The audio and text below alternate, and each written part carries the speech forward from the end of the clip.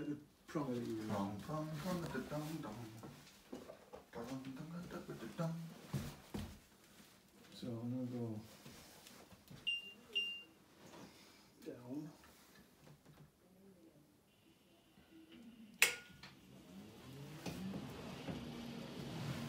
This all we've got on today? Yeah. So I'm gonna turn it to 90 uh, between there and, and bottom. Yeah, yeah, to, to give it that bit of clearance as on off that wall front there, yeah.